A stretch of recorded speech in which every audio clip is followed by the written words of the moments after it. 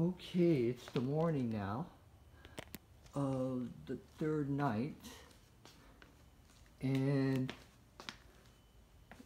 the rat or the mouse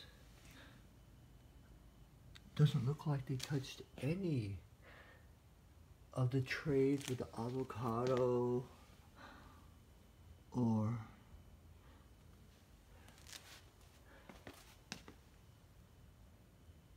or hit the, the glue traps at all. I don't see any feces at all. So, I don't know. I think he's gone. Okay.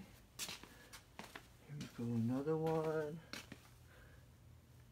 There's no signs of any activity. And I put the big, I put a big tile out with DeTour on it and spread it around with the plastic knife. And I don't see any footprints or anything.